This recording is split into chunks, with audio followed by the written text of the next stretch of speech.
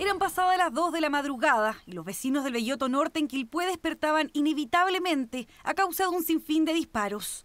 Un balazo tras otro no hicieron más que alertar a los vecinos de un violento crimen que entrada la mañana se confirmaría. Cuatro personas habían sido asesinadas a tiros en su propia casa. A bebé como las tres y media y sentimos llantos de gente, los niños, gritos, cosas así. Bueno, por la situación. ¿Fue una ráfaga? No, tiro, tiro, tiro. Solamente el tiroteo y la llegada de carabineros y ambulancia. ¿Cómo a qué hora habrá escuchado todo esto? Entre las 4 y las 3 de la mañana. Los fallecidos corresponderían a un matrimonio y otros dos hombres, todos de nacionalidad chilena de entre 24 y 32 años, dos de los cuales mantenían antecedentes previos.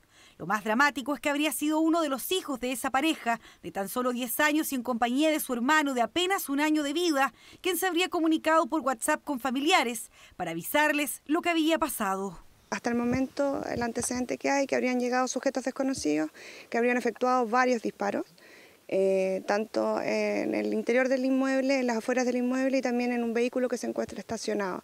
Un homicidio múltiple que rápidamente remeció a la comunidad, que lleva ya semanas consternada por los graves hechos delictuales que han envuelto a la ciudad de Quilpué, entre los que se cuenta el asesinato de la suboficial mayor Rita Olivares. Es lamentable lo que está pasando, que uno sale y no sabe si va a llegar a su casa. Arranqué de Santiago por lo mismo y acá me encuentro con lo mismo.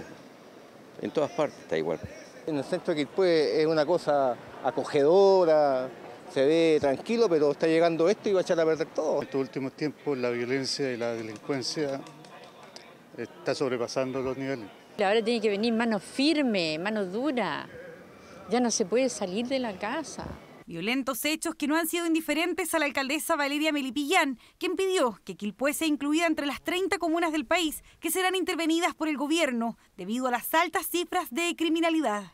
Tenemos en el último mes más de seis fallecidos producto de hechos de sangre muy violentos eh, y esto también habla de una fuerte presencia de bandas criminales en nuestra comuna y una fuerte presencia de armas. Por lo tanto, hoy día requerimos el apoyo de las autoridades nacionales y regionales.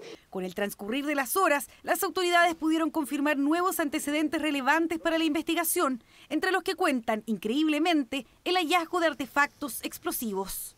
Existen indicadores que podrían hablar de una supuesta rencilla anterior, de un em, de bandas que estarían enfrentadas o de un posible ajuste de cuentas. Al trabajar el sitio suceso, se pudo establecer un gran forado en la parte trasera del domicilio. Al, realizar el, el rastreo, también se encontró evidencias de artefacto explosivo. Estamos hablando de aproximadamente 80 100 vainillas en el, en el lugar. A esta hora las diligencias continúan para dar con el paradero de los responsables del brutal crimen que remece a Quilpué. Delincuentes con alto poder de fuego que perdonaron la vida a los dos menores al interior del domicilio ubicado en esta conflictiva toma.